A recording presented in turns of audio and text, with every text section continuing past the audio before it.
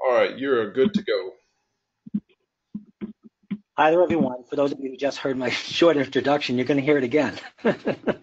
my name is Dr. Michael Wald. I want to welcome each and every one of you for uh, joining myself tonight and this uh, wonderful presentation, if I do say so myself, sponsored by Trinity as well as Nutritional Frontiers. And uh, for those of you who don't know me very briefly, um, I've been practicing, as I mentioned, for 28 years in clinical nutrition. I first went to chiropractic college. I'm a second generation doctor of chiropractic. Then I completed medical school, then received my master's in human nutrition, received a few board certifications, got my dietitian's license, sports nutritionist degrees. I have lots of interests in all areas of, of nutrition and wellness. And that's what brings me here today. I mentioned a few moments ago that I sought out Nutritional Frontiers and asked them to allow me to present for them because I was that impressed with their commitment to people. And I want to acknowledge each and every one of you too for your time tonight and your commitment to those of you who are currently practicing to your patients. And for those of you that are students, I, I want to congratulate you especially for having the forethought for spending this extra time on this uh, level of education. So as you can see from your screen, we're going to be discussing clinical pearls, which is a term that basically means something that's important, something that's special. But clinical pearl does not mean it's the these are the only things. These may be five supplements that we're speaking about tonight that are important, and I do believe uh, truly that they are foundational. They're essential for uh, clinical practice but there are other things as well. But these these are quite special, as I think you'll agree in a few moments. As you can see again on your screen, there are more than five supplements named here. We're going to go through the first five that start on the top left down. The other supplements we might review at another time, but they're not included in this presentation before any conversation I think that's meaningful uh, takes place regarding the use of nutritional supplements, I think we should spend some time thinking about, well, how do we dose a patient? So as you can see on the top left corner here, one way of optimizing our nutrient doses for our clients is to recommend dosages that are on the supplement container. So that is one way of doing things. So if the container says the client or patient should take one capsule or one dropper twice a day, that means that the company, in this case, Nutritional Frontiers, has put some serious thought to dosages based on evidence, based on studies. But as you know, your patients may not have been studied. They probably were not part of those studies. And studies, as we know, if, if they're worth anything, involve a large number of people or perhaps they're animal studies. My point though is averages do not reflect individual needs. So quite often we need to go beyond the dosage on the bottle. Number two, we can adjust our supplement doses based upon patient tolerance. So those of you in clinical practice probably know as I do that, often you'll make a recommendation to a patient and they will say to you that they had an adverse reaction. And some practitioners who are uh, not too quick on their feet or a, maybe a bit new to practice might get a bit scared at that and say, well, oh my goodness, uh, I guess you should just stop taking that. But when we're dealing with changes in diet and lifestyle, including nutritional supplement use, quite often a patient might have a, a side effect that uh, is not particularly comfortable, but does not necessarily mean that we stop use of the supplement. We might temporarily we might then begin it again at another dose. So I just want you all, uh, I want you all to be mindful that just because a patient has a symptom, it doesn't mean, or an adverse reaction, it doesn't mean that we should toss that supplement aside. Our next bullet says we can adjust our doses based upon patient compliance. Well, I'll ask my patients often, you know, how are you doing with the supplement recommendations? And they'll often say to me something like, well, you know, I often don't make it to take that second dose or that third dose, Dr. Wald. And if that is a recurring issue, I would readjust the supplement doses the best that I can for the maximum benefit, maybe once a day, because they've admitted that they can take them once a day. So this kind of these kinds of adjustments can make the difference between helping someone in the short and the long term. And then the last bullet on the left is adjust based upon patient response. So if a patient is doing well after a while, we may want to taper them off the supplement or reduce the supplement in some way. And then when we look at the upper uh, right hand of the screen, it says adjust and determine based upon laboratory work. So for those of you, depending on your state, uh, and if you are allowed to draw and interpret blood work, other types of uh, tissue samples, uh, you'll have an advantage, obviously, uh, compared to those practitioners that cannot look at laboratory work. Looking at blood work really can help optimize dose for clients. Now, that doesn't mean that every vitamin or mineral blood level is accurate. For example, B vitamin levels in the serum or the plasma only represent the last two or three or five days or so of intake. Vitamin D plasma, for example, though, being a fat soluble nutrient, has a far better track record of predictability of overall vitamin D storage. So my point here is that laboratory can be of help, but we don't ever want to use it exclusively. A good practitioner will have a patient before him or her, and that practitioner will consider the signs and symptoms and health goals, etc., of that client in context with laboratory work. For example, if the laboratory work says that the TSH level, the thyroid stimulating hormone, is elevated, and the patient is fatigued, well, that one plus one in that case means two, that, that that's related very well. But in other people, someone might have a TSH that's elevated, but they don't have an energy problem. So once again, lab is important, but not everything. The next bullet, comparing the patient to average and healthy. We're going to talk about this on the next slide. And also, we can base our nutrition on what are known as weak body systems. And that's what's called uh, my blood detective report. So the next few screens, I'll only spend about possibly three minutes on these. I just wanted to let you know that everyone listening to uh, this presentation is entitled to a free blood detective report. You can send me a copy of your, actually you can do an interpretation by accessing the blood detective website of your patient's blood work or your own, and an entire interpretive report will be provided. Now, if you look at this page, you'll see on the left the names of the different laboratory tests. And then there's a results section of the patient's results. And then the darker section in the center are the clinical ranges. Those are your average or so-called normal ranges. And then all the way to the right, you'll see the functional ranges. And that's what I call, those are the healthy ranges. So generally speaking, a, per, a patient might come to you, their laboratory work might be completely normal. The clinical numbers, unlike this sample here, might be all within the range. But if you compare them to healthy people to the far right, it'll usually reveal some of the underlying biochemical issues with this patient.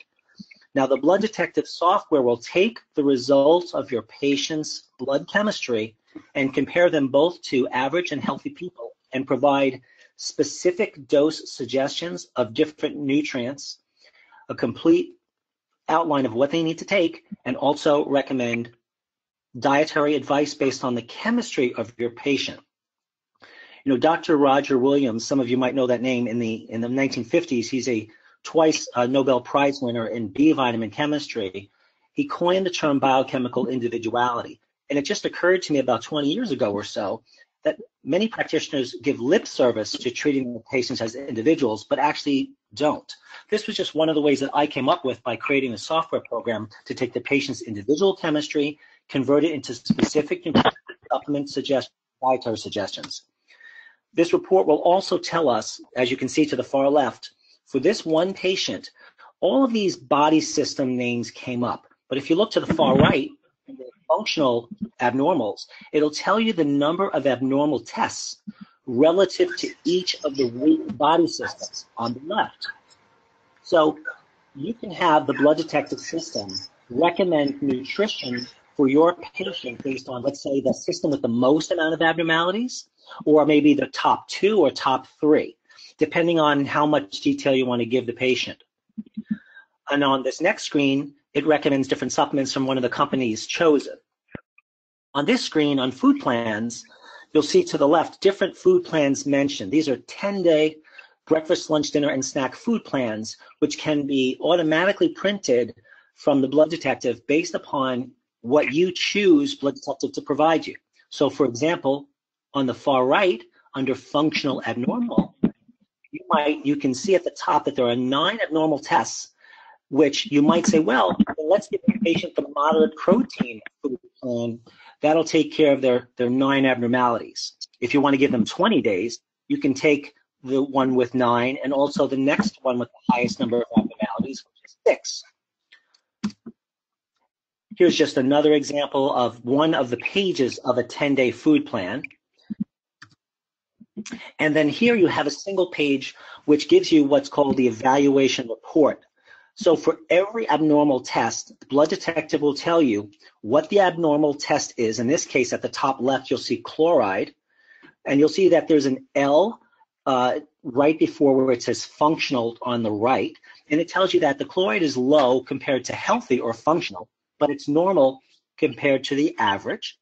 Then it'll tell you what the test chloride means for low medically and nutritionally, what conditions might cause this, what laboratory tests you might consider in addition to those you may have done already, and so forth. So for those of you, once again, who would like a free run of a blood detective report, you simply need to email me at info at blooddetective.com. So now we're going to move on to the supplements and their clinical uses. I would suggest that you have a your computers in front of you, or at least a pen and paper, because there's there's a lot of wonderful clinical protocols that I'm going to share with you that I've learned over the years. So our first supplement is called Adrenal.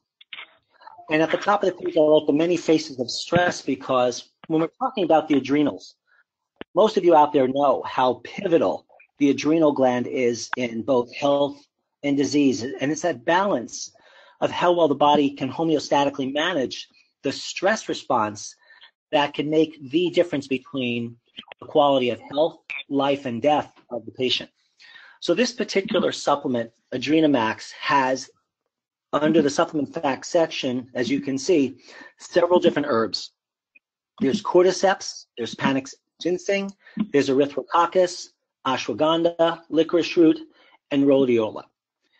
What I should mention now, which is a which is a pivotal concept in nutritional care, at least I believe, is being mindful of what's known as nutritional synergism.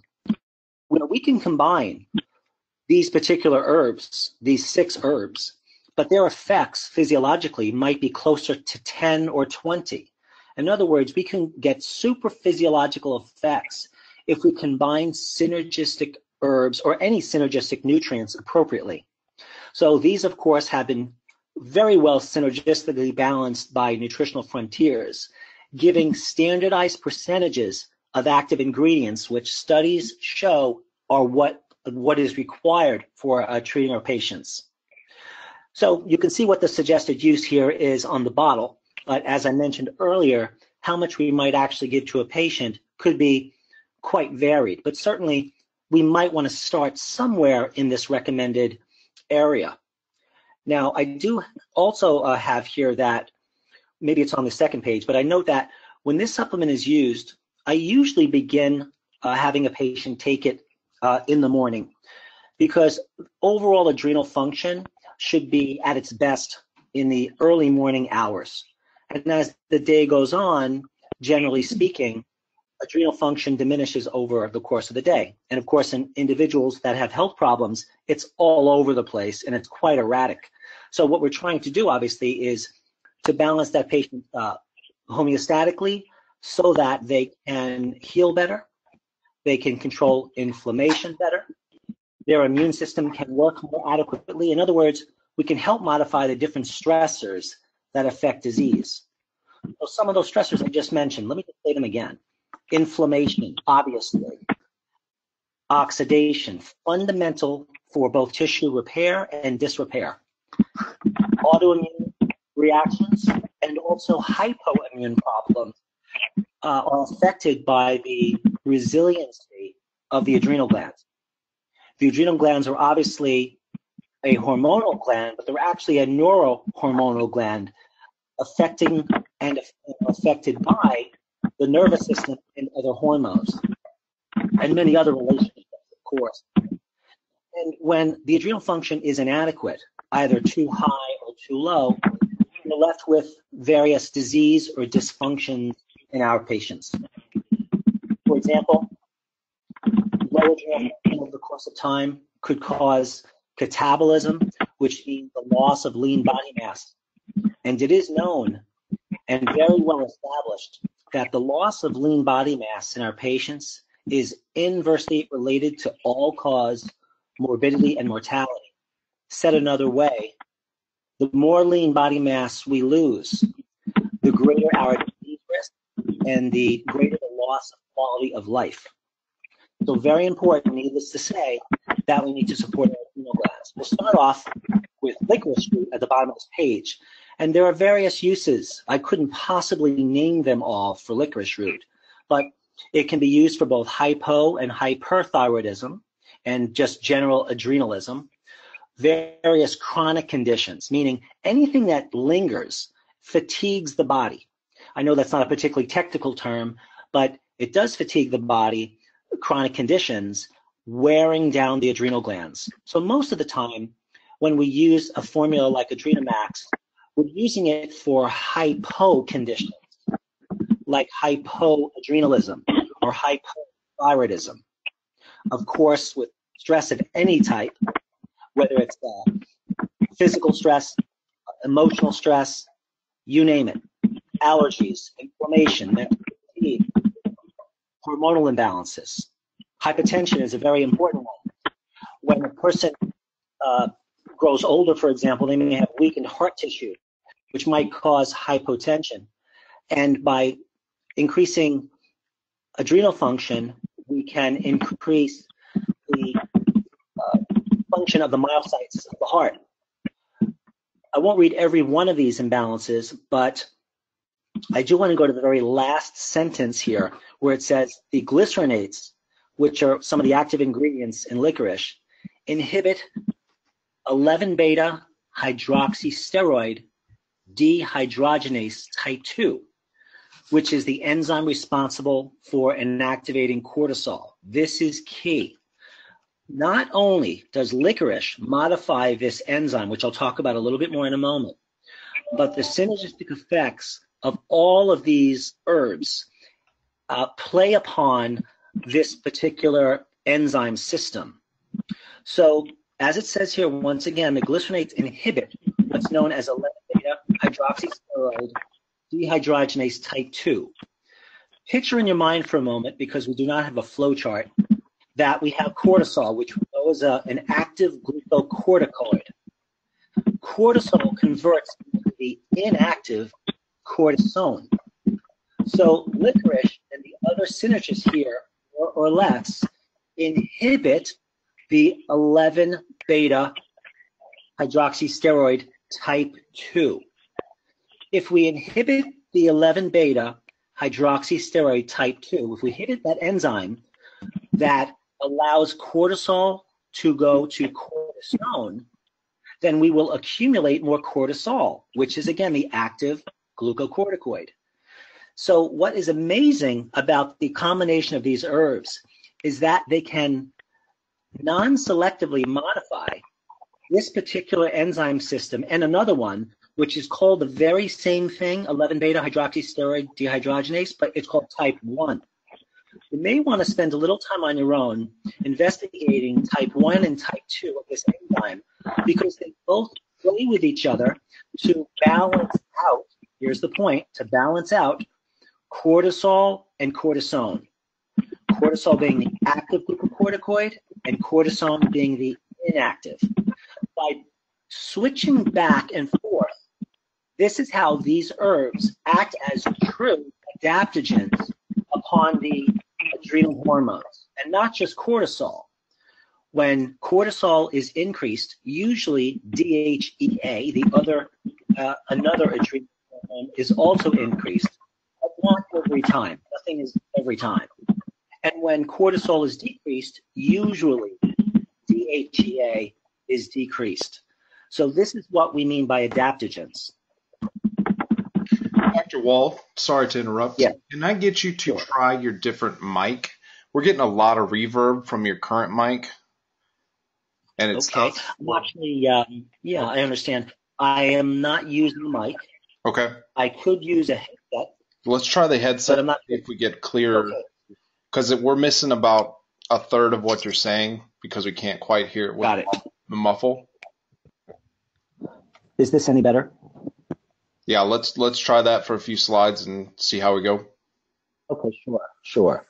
So we're talking about licorice root, and we've just had a brief conversation about how licorice root, along with the other synergistic herbs in this particular formula, help to modify the expression of an enzyme that's abbreviated 11 beta HSD2. So what licorice does, like these other herbs, is that they modify the expression of that enzyme, helping to balance uh, delicately the, the conversion of cortisol, the active glucocorticoid, and the inactive glucocorticoid form, which is cortisone. By bouncing back and forth and modifying the enzyme function, these herbs act as true adaptogens. I hope that was clearer for everyone. How does that sound? Yes, it sounds better. Thank you. Okay, fantastic. Great. So as we can see on the current screen, licorice root also affects epinephrine and norepinephrine secreted by the medulla and cortex, respectively. And these are quite important for the stress response, as I'm sure everyone knows. We've got norepinephrine, which forms epinephrine. And that's part of the stress response. That is part of the normal stress response. If we have excessive stress response, then we have breakdown of tissue. We also have a consumption, so to speak, of a variety of nutritional cofactors that help balance out the epinephrine norepinephrine part of the stress pathway, such as SAMe and magnesium, which required for the conversion, it's not on your screen, but of norepinephrine to epinephrine. So the most important side effect of licorice, which I should mention in glycyrrhizin, are hypertension. You have to know this. If someone has hypotension, then licorice is going to be a wonderful thing for them. But if they have hypertension, it could be a problem. So licorice and glycyrrhizin can cause hypertension and hypokalemic induced secondary disorders. By lowering potassium, they can cause all sorts of muscle spasms, including abnormal uh, muscular function of the heart, which can which will show up on EKG findings. Licorice side effects are increased by hypokalemia, prolonged gastrointestinal transit time, and decreased type 2 11 beta hydroxysteroid dehydrogenase activities. Again, spend some time learning a bit more about this enzyme. It's key for how all of these herbs work. The last paragraph here, biochemical studies indicate that the glycerinates inhibit this 11 beta hydroxysteroid dehydrogenase type 2. By inhibiting that type 2, whenever you inhibit an enzyme, you will increase the accumulation of what came before the enzyme. So if cortisol becomes cortisone, and we need 11 beta HSD2 to move cortisol to cortisone, if we shut that enzyme down, the cortisol will accumulate, and we may need that. Too much of that is chronic stress response to one point, and then the other point of the chronic stress response is exhaustion phase.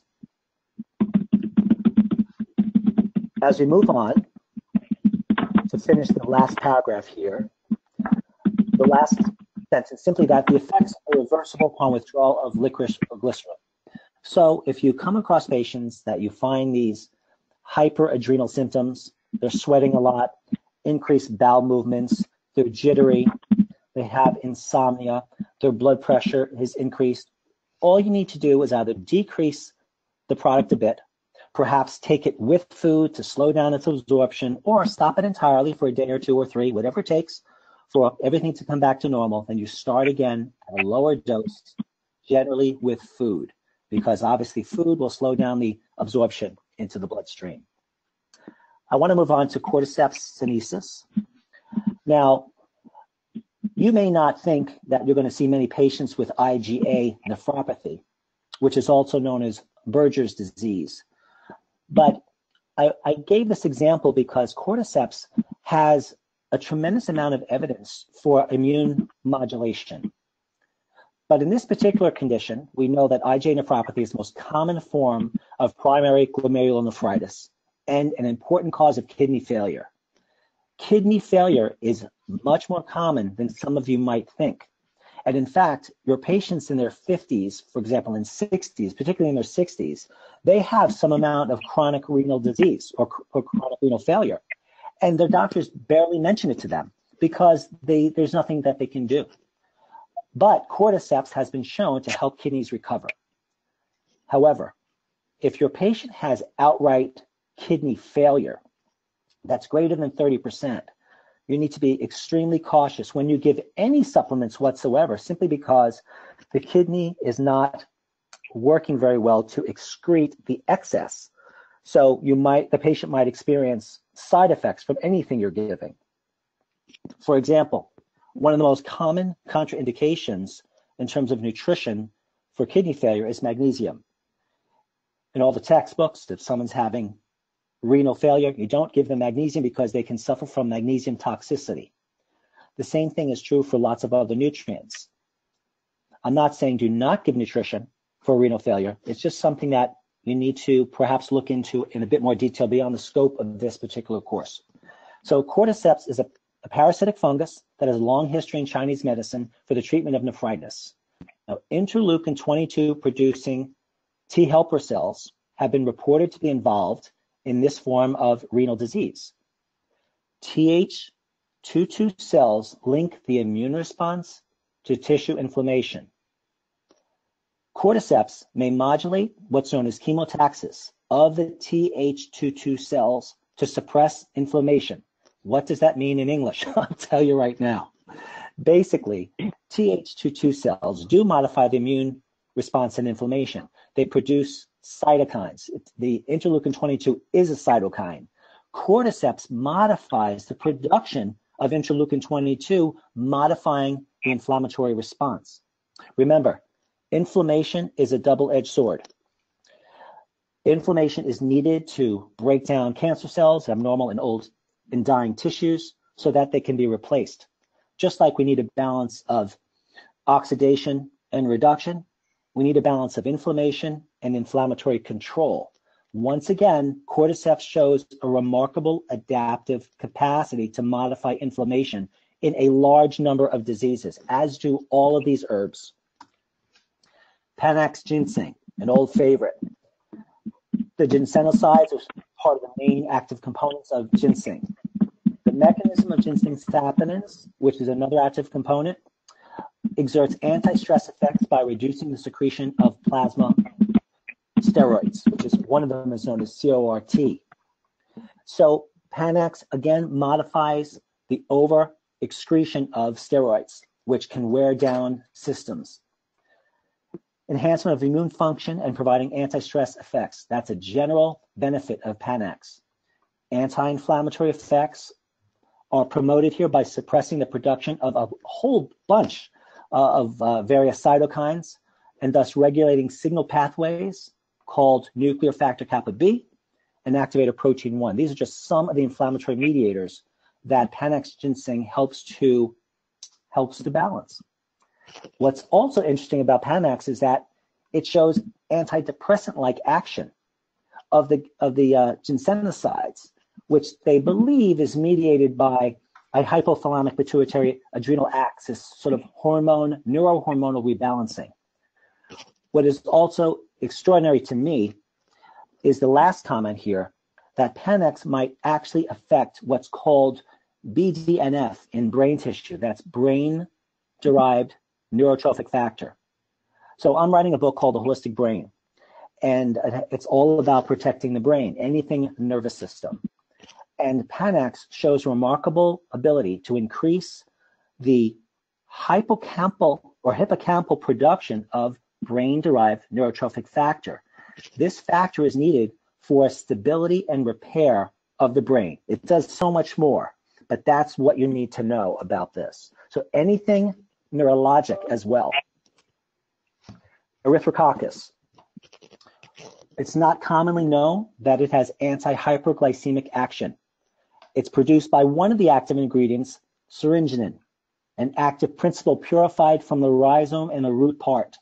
So for those patients, like diabetic patients or the so-called pre-diabetic people, eleutherococcus and this particular product is very good because it modifies adrenal function, which affects all sorts of hormones that we've been discussing, which in excess, for example, like cortisol, will cause pro-inflammatory conditions, which will increase insulin resistance, uh, uh, adipose fat storage, increase in lipids, all of that mediated through blood sugar balance. Also, we know that eleutherococcus can affect the secretion of beta endorphin from the adrenal medulla. So beta endorphin, like any endorphin, is a painkiller. It's also an immune modulator. And it's a type of natural opioid. But it also has an effect upon insulin. And finally, muscle spasms, pain, fatigue, insomnia, mood, chronic illness. These are some of the more common indications of the use of eleutherococcus, and you'll get even better effects when you use them synergistically in this particular formula. So just think of the endorphin aspect of what I just mentioned and how that will help muscle spasms and pain. And when you reduce pain and reduce inflammation, which endorphins also do, you can enhance the energy of the individual, reducing their fatigue, helping their sleep, improving their mood, and helping them heal better as we move across each of those conditions or indications for treatment at the uh, bottom of the slide. Ashwagandha. You should be aware that not just ashwagandha, but most of the herbs I just mentioned, there may be some drug nutrient interactions. The blood detective program provides the drug nutrient interactions, and these, of course, you can look up individually. But as it says here, medications that decrease the immune system or immunosuppressants may react with ashwagandha because ashwagandha is considered, along with most of these herbs, an immune modulator or something that might increase the immune system. But I want to say something more about that.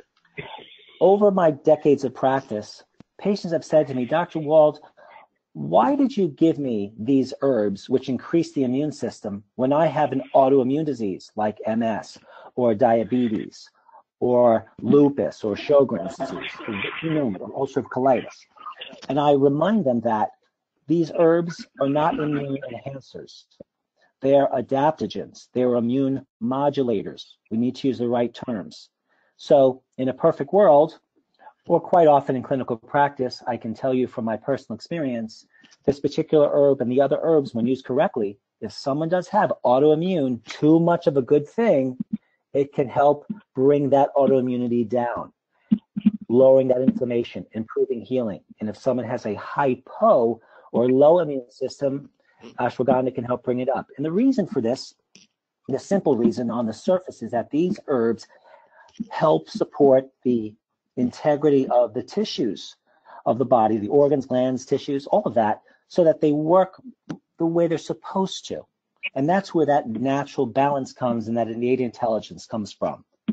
Ashwagandha may also lower cholesterol, I'm sorry, uh, cortisol, which is why we use it for those patients that have conditions and personality types that are hyperadrenal. And by helping to balance out the adrenals, since the adrenals, of course, communicate with the thyroid, we can help regulate thyroid function.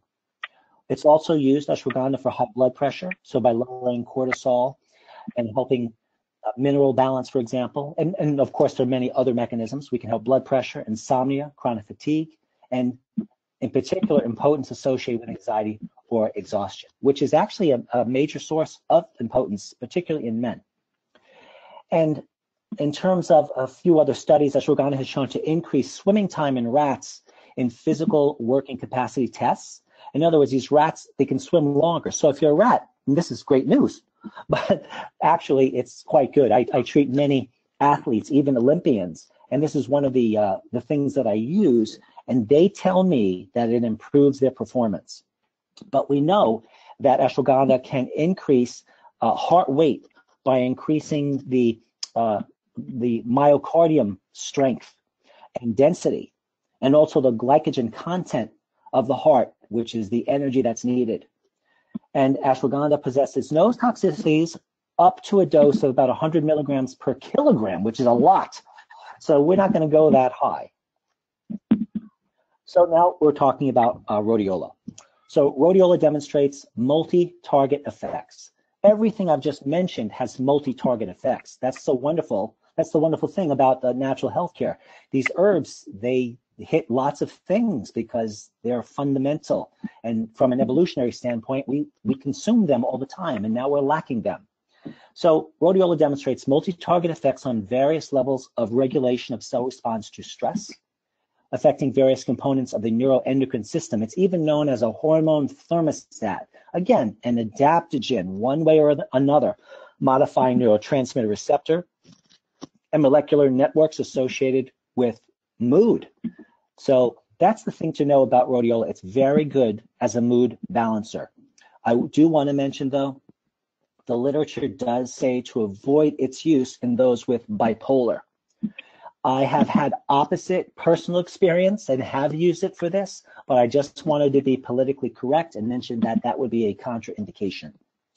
Rhodiola does improve hyperglycemia, and we know why. It increases beta endorphin secretion from the adrenal glands to activate opioid uh, mood receptors, not just in rats, it happens in patients. So on a blood test, you're going to see a hemoglobin A1C uh, normalize. So we know, according to most labs, first of all, hemoglobin A1C, uh, to those of you students that may or may not be familiar with it, it's a several week average of blood glucose. It's a non-fasting assessment of blood glucose. And we want to have anything for a 7, uh, 7.5 or higher for most labs is considered pre-diabetic. I like to have hemoglobin A1C at 5.4 because based on my studies, and that's what's in my blood detective uh, program. That's the place to be. And um, there's also something called fructosamine. That's fructosamine, which is a two-week average of blood sugar. That has some utility as well. These are non-fasting tests. One last thing on blood sugar. Even in a non-fasting blood sample, non-fasting folks, if the glucose is greater than 85, that patient is probably a pre-diabetic. And when I first discovered this and checked those patients of mine that did not fast, which you would expect would have higher blood glucose, they in fact did. But every single one that was eight, above 85 had a hemoglobin A1C of 5.7 or greater, meaning that they were so-called pre-diabetic or insulin resistant. So let's move on to one of my favorites, buffered C in a capsule form. So you're going to get lots of clinical pearls right now. Now, we all know the basics about buffered C or vitamin C.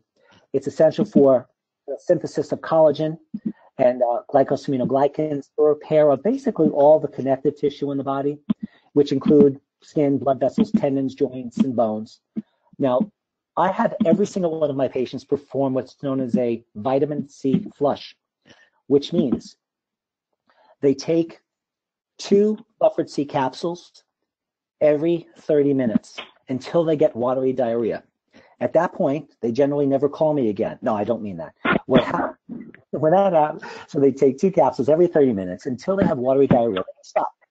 Then they write down how many capsules of vitamin C it took for them to get that watery diarrhea. That's bowel tolerance, folks. The amount of vitamin C that that patient needs is not that, that much. It's two thirds of that amount you can actually titrate the patient's need for vitamin C. There's no very good blood test or urine test for vitamin C levels because we all know that a person could have normal vitamin C levels, but they might need a hundred times that to deal with cancer. I also like to use urinary vitamin C because once the body stores are complete, there'll be some spillover of C in the urine. I also check ascorbic acid relative to the oxidized form of vitamin C called dehydroascorbate. So keep in mind the vitamin C flush procedure. If your patient is particularly weak, you might want to have them start with just a capsule and go one capsule every 30 minutes. If the patient does not flush by five hours, I generally stop and I do something different. the next area here, vitamin C is, requi- is a required coenzyme for various enzymes that catalyze collagen fiber formation and capillary health, wound healing. We all know that. It's very important for the biosynthesis, biosynthesis of carnitine, serotonin, and certain other neurotransmitters, including norepinephrine. That is true that vitamin C is needed for the uh, production of norepinephrine, but uh, the reason why, just so you know, folks, is that the way that the pathway goes is phenylalanine, an amino acid, forms tyrosine. Tyrosine forms DOPA. DOPA forms dopamine. And to get DOPA, to L-DOPA to dopamine, you need vitamin C. If you don't have enough vitamin C, you can't form enough dopamine, and therefore you can't form the next chemical compound, which is norepinephrine. So vitamin C is very important. It's essential for that line of stress production, stress hormone production. And we know that vitamin C is one of the most powerful antioxidants in humans and animals.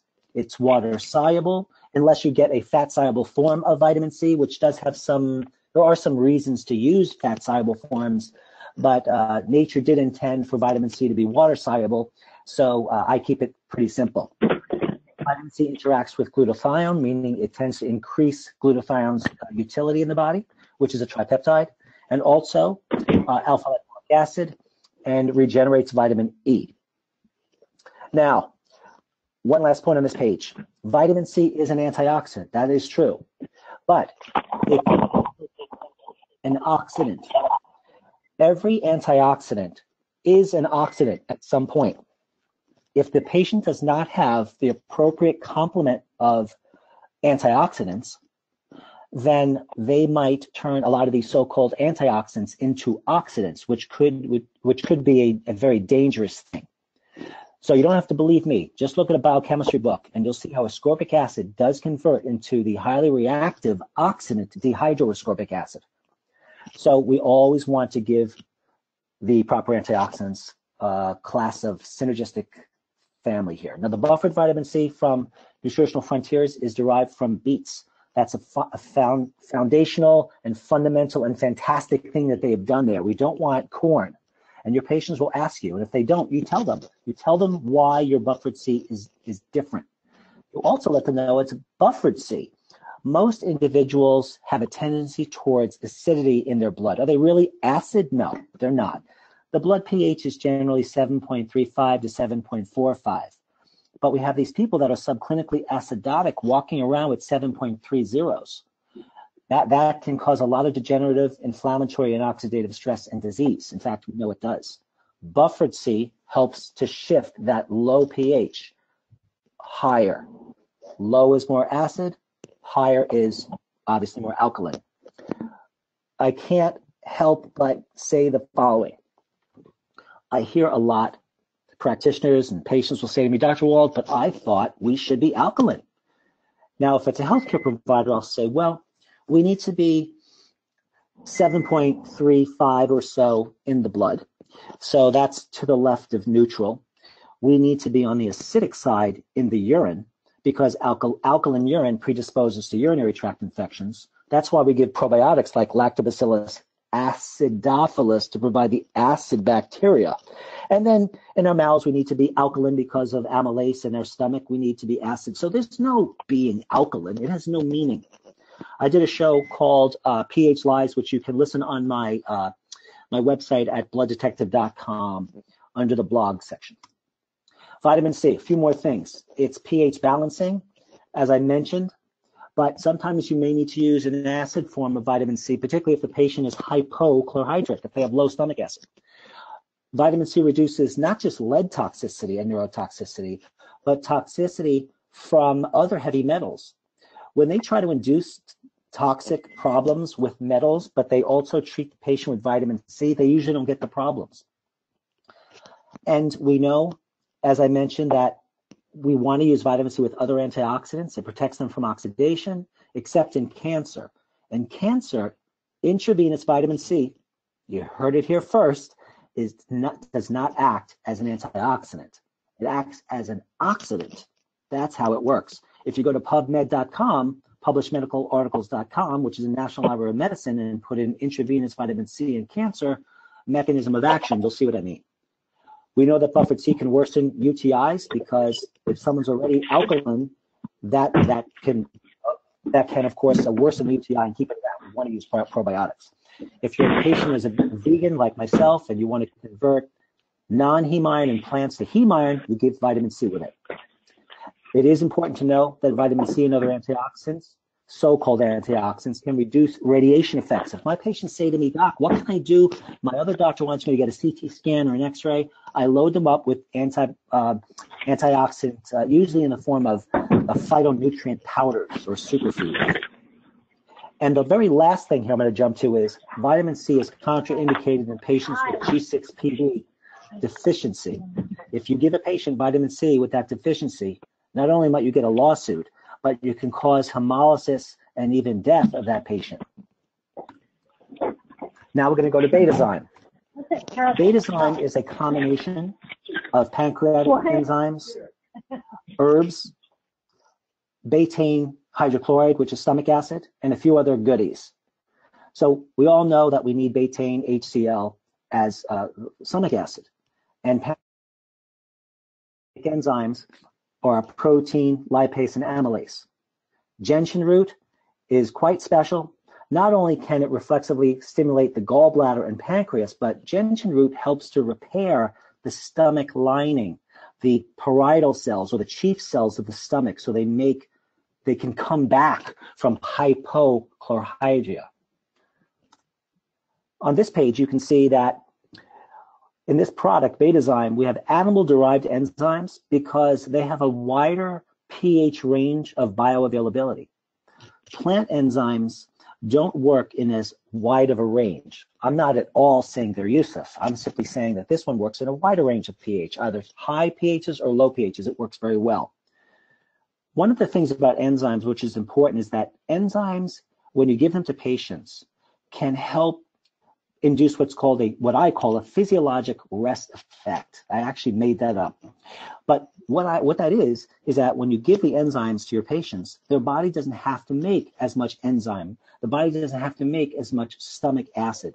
The gallbladder, the liver does not have to work as hard. Maybe they've been working hard for a while, which is why the patient has symptoms of digestive issues, either involving the stomach, the small intestine, the colon, of course, and, and pancreatic and gallbladder. So you give them betazyme, generally as suggested here. What I tend to do with betazyme is I give it one, uh, one per meal to the patient with the meal. If they don't have any adverse symptoms after the first day, the next day I'll have them double it to two, three times per day when they have three meals. If they have four meals, we don't do it again. The third day, if they're good to go, they don't have heartburn, they don't have loose stool, they don't have indigestion. I keep increasing until they have some mild side effects, and then I tell them to stop.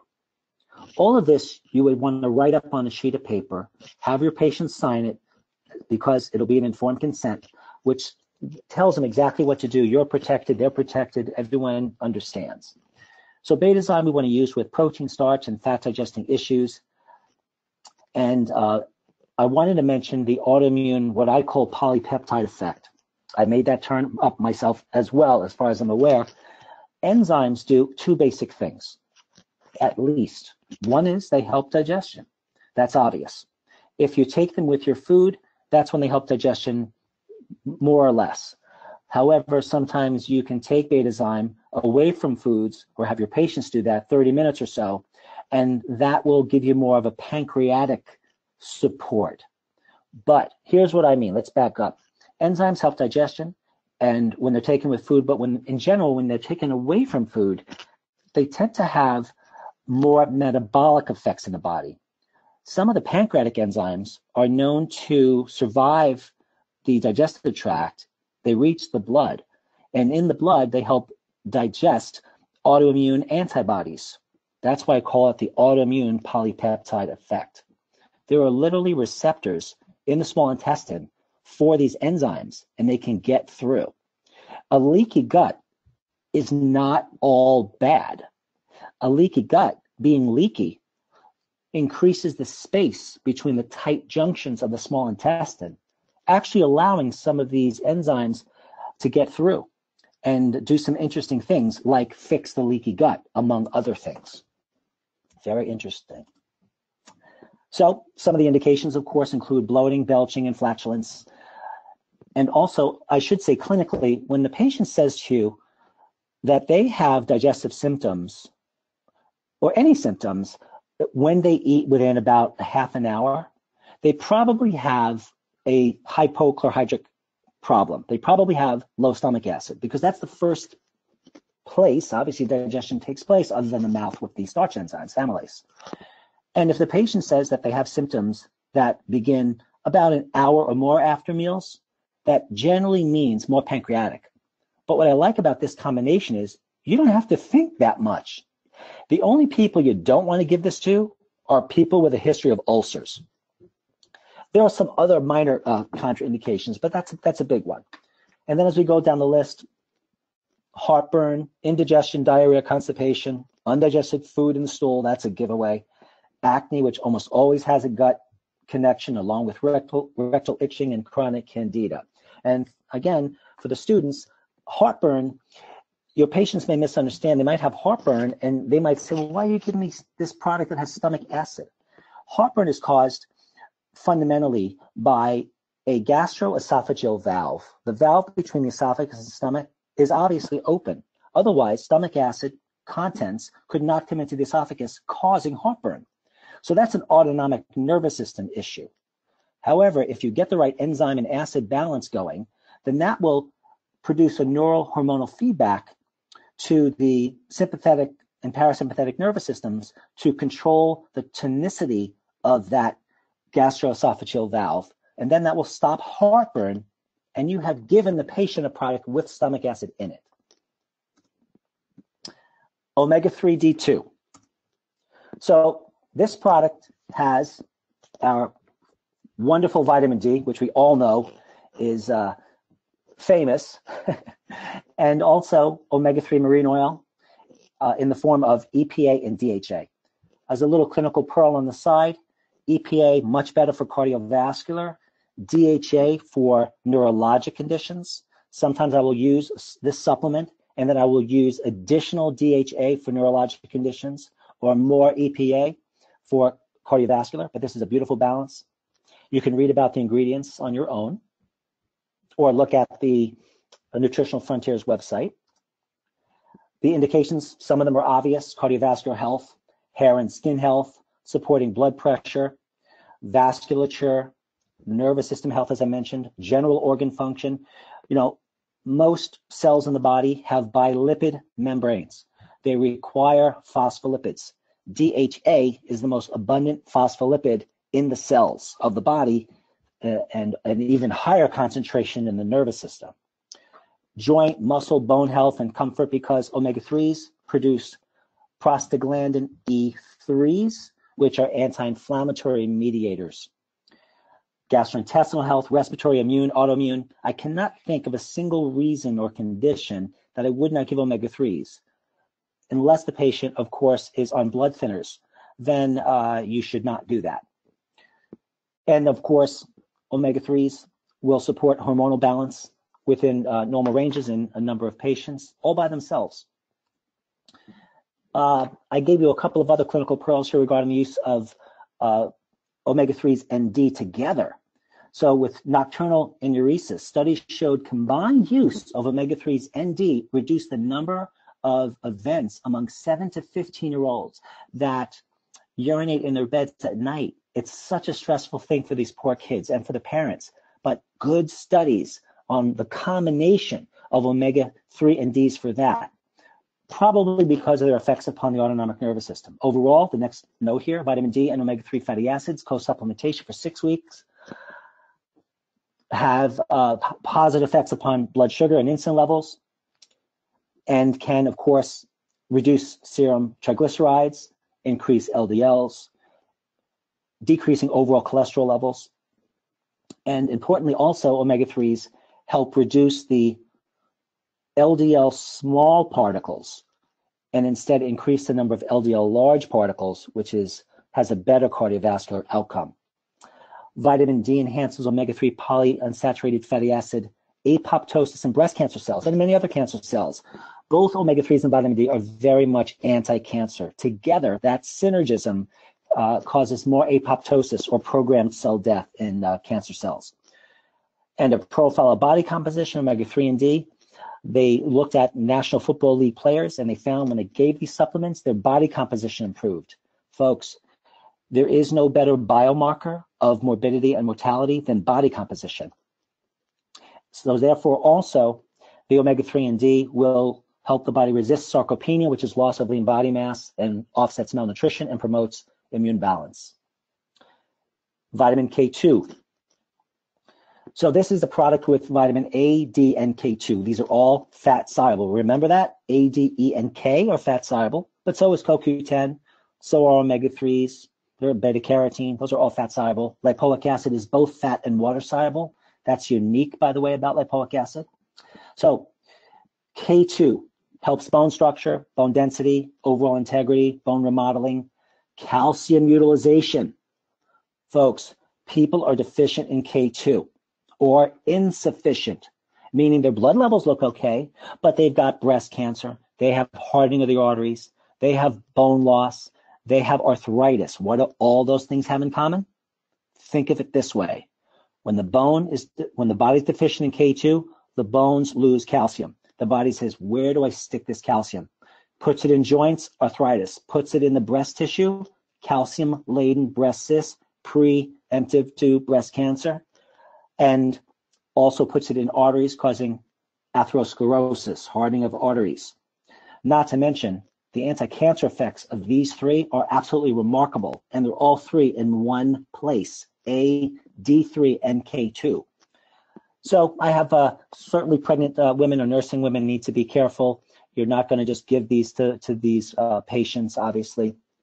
Blood clotting disorders and uh, Coumadin, because Coumadin or warfarin, as you know, is a blood thinner. And K2 is a pro-clotting agent. Okay, you can think of K for clotting. It doesn't really mean that, but it's an easy way to remember it. Um, okay. And in terms of the vitamin A component of this product, you know, vitamin A is as exciting as vitamin D. It just doesn't get all the all the press. Everything that I mentioned that vitamin D does, vitamin A pretty much does. And all of these support bone health, all three of these in this particular product. Vitamin D3, let's talk about that for a moment again. It's fat soluble. We know it's essential for maintaining calcium balance. Now, vitamin D3, vitamin D in the blood, the range for most labs is 30 to 100. Meta analysis says 70 is the magic number. The higher normal vitamin D, the lower one's overall morbidity mortality. How do you know if you're giving someone too much vitamin D? No, it's not if the plasma serum levels are a little high. It's if they have hypercalcemia. If their calcium is elevated, you know to reduce the vitamin D. I would stop it for a week, possibly two, check the calcium level again. If it's normal, I start the D again and I start at a lower dose. How much vitamin D do you give someone? If their blood level is below 30 and they're of normal weight, you give them 50,000 units of vitamin D3. If they're overweight, you give them 100,000 once a week, folks, for eight weeks. Then you recheck the lab, and then you titrate the vitamin D down.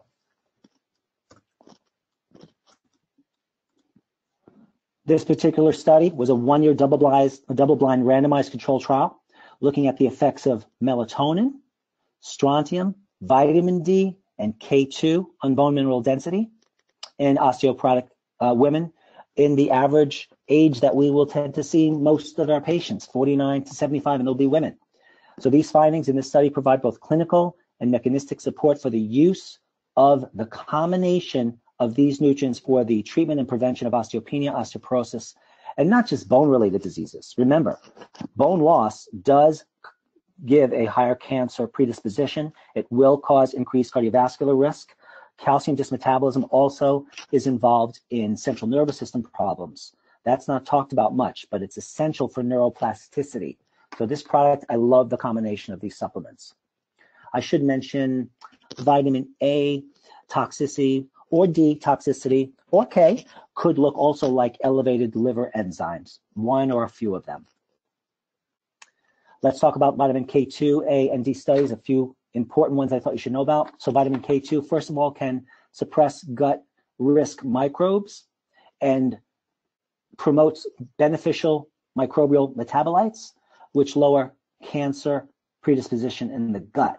So vitamin K2 is first of all made by the intestinal uh, milieu, the bugs, but most people do not have a very healthy intestinal uh, microflora, as you know. So these products that I've been mentioning throughout this conversation today, these are fundamental for just about everyone. Also, vitamin K2 supports the concept that if you can modify the NF kappa beta signal transduction, we can improve bone health, bone health by offsetting bone loss. So vitamin K2, said another way, lowers this inflammatory NF kappa B.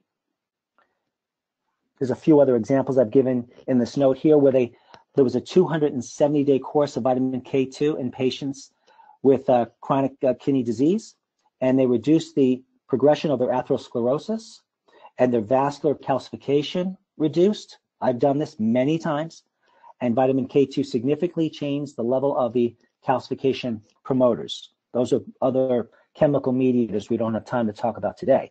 So vitamin K has diverse protective effects against osteoporosis, osteopenia, atherosclerosis, and carcinogenesis on a number of levels.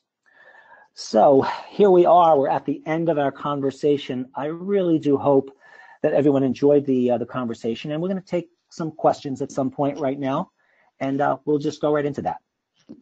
Yes, so if anybody has any questions, they can go ahead and type it in the chat window. I want to keep everybody on mute just because we had a ton of background noise and I think it would be too hard for everyone to speak all at once. So any questions, go ahead and type them in the chat. While we're waiting for any questions in the chat window, I just want to say thank you to Dr. Wald. This was very interesting lecture. Lots and lots of useful information. I mean, I loved the detail oriented nature. Uh, I'm a nutritionist as well as blood chemistry guy myself, so you're speaking my language. And I just wanted to say thank you from all of us. Well, thank you so much. It means a lot coming from you. Great. Let's see. First question What does the sample blood detective report provide, and what does it show? Okay, so once again, briefly, uh, if you email me at info at blooddetective.com, I'll give you instructions where you can actually run one of those reports. And what it's going to provide is this. You simply type in the results of the blood test into the system, and then you click Create Evaluation Report.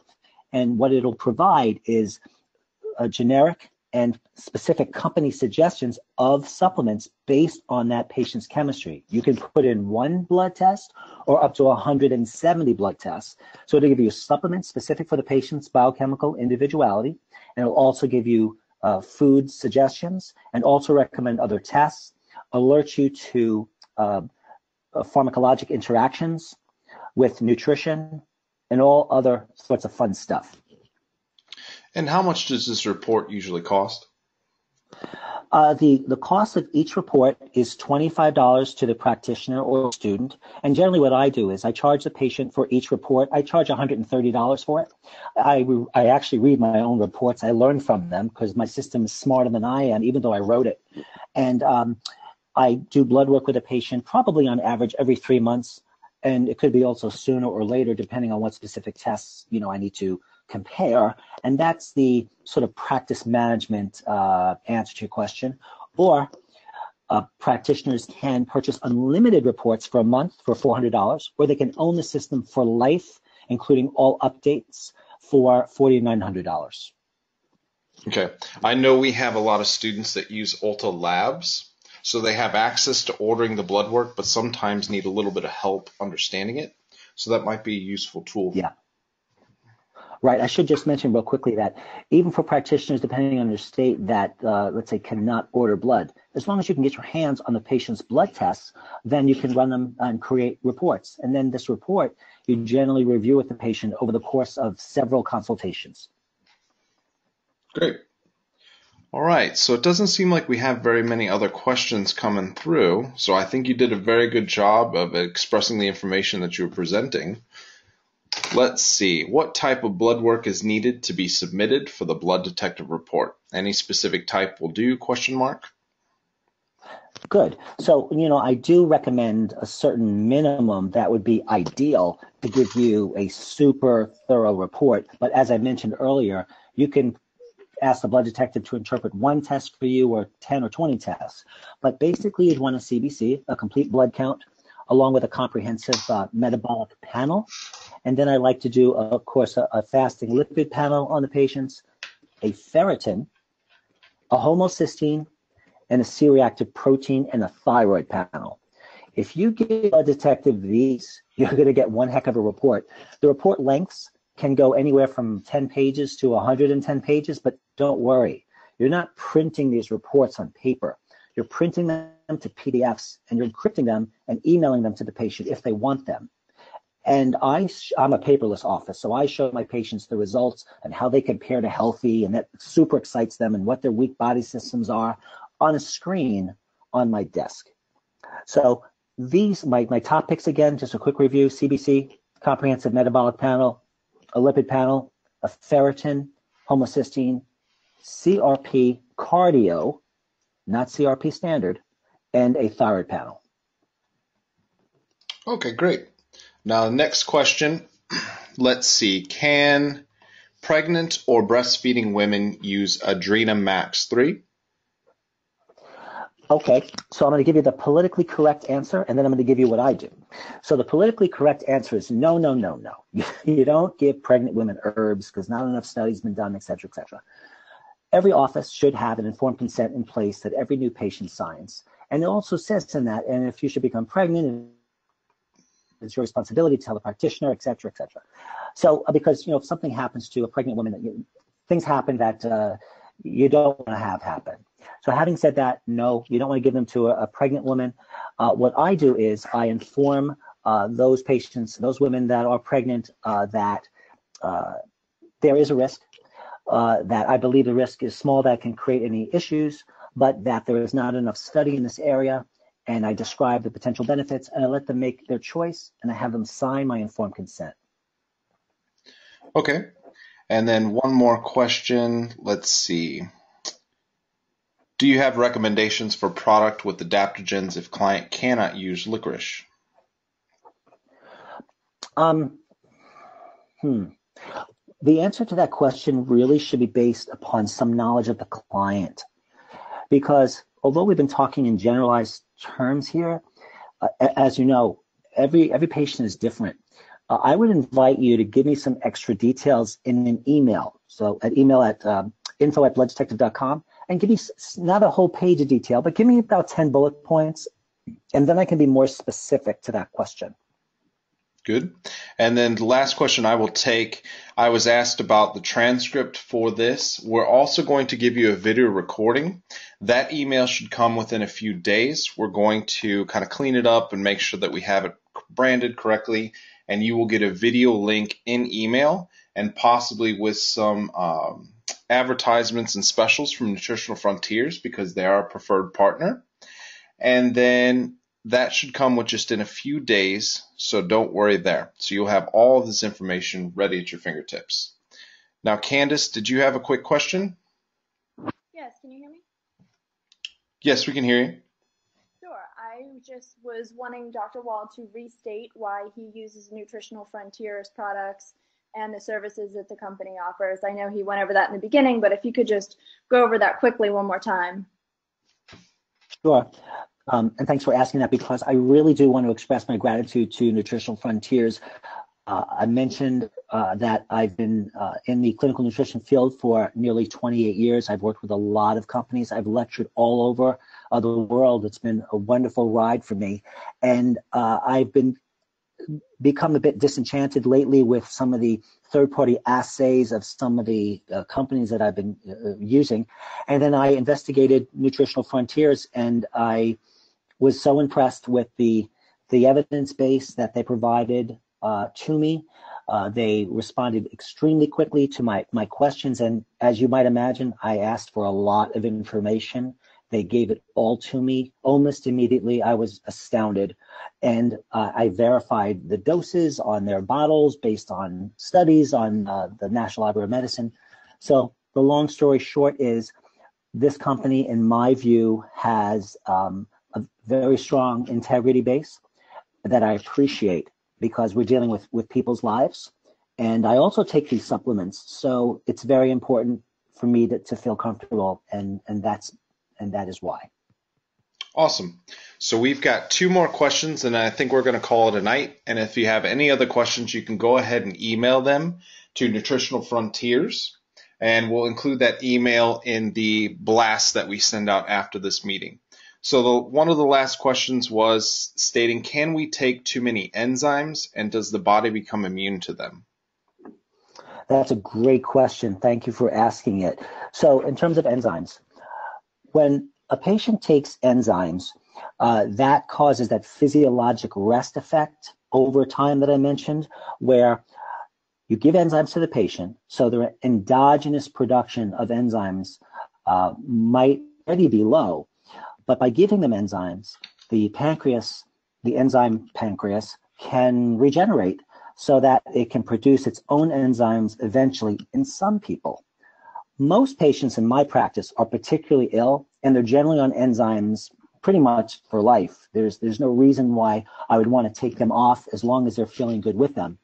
So in terms of adverse effects of continuing, well, if you have a patient on enzymes and they say to you that they are developing some adverse effect, maybe it's, let's say it's heartburn or they're getting loose stool or whatever the, the thing may be, then yeah, you might want to look at reducing their enzymes and adjusting them because the supplements that we recommend, just like our dietary suggestions and lifestyle recommendations, what they are initially may change multiple times over the course of, of managing people and, and then we want to teach them how to deal with uh, with changing th- certain things on their own. So i have not come across against many examples. I'm trying to think of even one where i wouldn't have uh, wouldn't keep my patient uh, on the enzymes. And the same goes for stomach acid particularly if these people are over age 50 60% of people over age 50 are hypochlorhydric and when you have low stomach acid and that food isn't properly digested and then it makes its way into the small intestine, the pancreas, the enzyme pancreas overworks. And that throws off the whole intestinal uh, milieu. So when we're dealing with people in this world with these kinds of stressors, with these poor diets, uh, I welcome the use of enzymes even for a lifetime. Great. And then the last question that we're going to ask is once bowel tolerance is obtained with vitamin C, what would that dosage be? Uh, I missed part of your question. I think you said, what is the bowel tolerance um, that's achieved with vitamin C? Is that right? Yes. And then they asked, okay. what would the dosage be once once met? Oh, got it. Good. So the dosage once met of vitamin C would be so the patient is taking, let's say, um, they're taking two capsules of, of vitamin C, and then 30 minutes later they take another two capsules and another 30 minutes take another two. And then let's say they get to 10 capsules and then they get diarrhea. First of all, what vitamin C has done there is it has basically filled up most cells in, in the body, uh, and uh, concluding the cells that are the intestinal tract, and then they cause contraction of the two muscular layers of the colon. So it exercises the colon as opposed to colonics, which do have their place, but colonics stretch the bowel wall out. They remove the endogenous probiotics. These are not issues you have with very inexpensive vitamin C. But to answer your question, if it's 10 capsules that it took to cause diarrhea, then approximately two thirds of that, or roughly eight capsules, is what that patient should have in two to three equally divided doses or roughly equally divided doses per day. Fantastic. Okay. Yeah, just one last thing on that. It's it's some amount less than what produced the flush, which is diarrhea. Great. All right. Well, again, I want to thank you, Dr. Wald, for taking the time to share this information with everybody. And I want to thank Nutritional Frontiers for linking you up with us and having you be a representation of the information that we love to share. Thank you very much. It's been a pleasure. Thank you. And I want to tell everyone thank you for the time for listening. And we're going to go ahead and end this meeting and we will send out the recording as soon as we have it ready. Thank you. Have a good night, everybody.